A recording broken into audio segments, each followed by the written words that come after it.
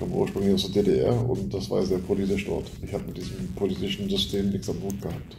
Und ich konnte machen, was ich wollte, ich hatte keine Chance. Sie haben mir zwei Lehrstellen hingelegt und gesagt, äh, du gehst jetzt eine von den Lehrstellen, kannst du nehmen da und bist weg.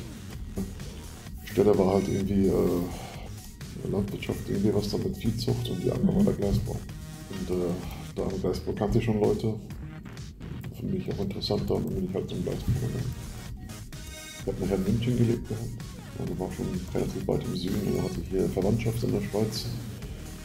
Die hatten aber äh, eine Recyclingfirma und brauchten, haben noch Leute gesucht gehabt und dann bin ich da angefangen. Und dadurch bin ich wieder zugekommen. Also die Firma ging nachher da in Bankrott. Bin wieder zurück zur, zum Gleisbau. Wieder zur Eisenbahn.